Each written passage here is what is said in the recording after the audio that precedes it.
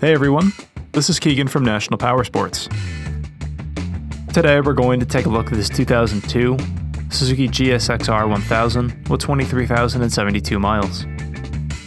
Powered by a 988cc four-cylinder engine with a 6-speed transmission, the GSXR puts out 164 horsepower at 10,800 RPM and 83 foot-pounds of torque at 8,400 RPM.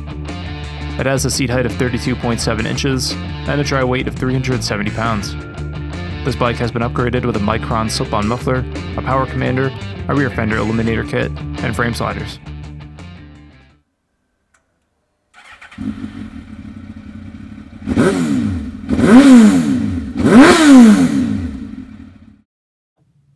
This opportunity vehicle is being sold as is without a warranty. We encourage you to see and hear the bike in person. If you are unable to, we will be happy to do a live inspection via Skype or FaceTime. Please give us a call for more information. We have also purchased a CycleChex vehicle history report. You can view this report by clicking on the link on the right side of the video.